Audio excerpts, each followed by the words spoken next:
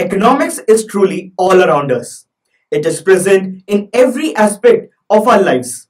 So let's find out how globalization influences our lifestyle.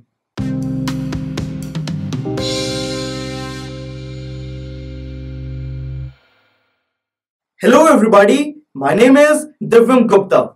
Welcome to Economics chapter Globalization and the Indian Economy. ये इस chapter का introductory lecture है guys आज her good और service की हमारे पास वाइड वैरायटी अवेलेबल है। वर्ल्ड के टॉप मैन्युफैक्चरर से आज हम मोबाइल फोन्स टेलीविज़न कैमरास के बेस्ट मॉडल्स ले सकते हैं। वर्ल्ड की टॉप कार कंपनीज़ के बेस्ट मॉडल्स आज हम रोड्स पर देख सकते हैं।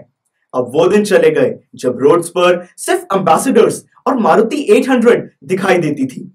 गाइस हर फ़ील्ड में फ़ूड आइटम्स में क्लोथिंग में इलेक्ट्रॉनिक्स में, हर जगह आज वाइड वैरायटी अवेलेबल है। यस सर और मैंने तो ये भी सुना है कि ये जितने भी चेंजेस हैं, ये थोड़े ही सालों में आए हैं। दैट्स राइट सो फ्रेंड्स ये सारे रैपिड चेंजेस कैसे आए? क्या फैक्टर्स थे जिससे ये सब पॉसिबल हो पाया? और इन चेंजेस की वजह से हमारा लाइफस्टाइल कैसे चेंज हुआ है? इन सब क्वेश्चन के आंसर्स हम इस चैप्टर में पढ़ेंगे। इस चैप्टर को हम टोटल फाइव लेक्चर्स में कंप्लीट करेंगे। ये फ़र्स्ट लेक्चर है, जो कि इंट्रोडक्टरी है। सेकेंड लेक्चर में हम प्रोडक्शन और फॉरेन ट्रेड के बारे में बात करेंगे। थर्ड लेक्चर में हम ग्लोबलाइजेशन और वर्ल्ड ट्रेड ऑर्गेनाइजेशन को समझेंगे। फोर्थ लेक्चर में हम ग्लोबलाइजेशन का इंडिया पर क्या इफ़ेक्ट आया, इसको समझेंगे और हम फेयर ग्लोबलाइजेशन के बारे में बात करेंगे। और फाइनली फिफ्थ लेक्चर में हम इस पूरे चैप्टर को एक बार शॉर्ट में रिवाइज करेंगे।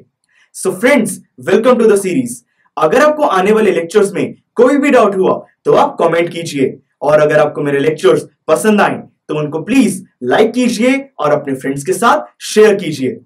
Click here to go to the next lecture of this chapter click here to go to the playlist of this subject click on the circle to subscribe. And don't forget to visit our website, that is pustack.com for more awesome videos on various topics.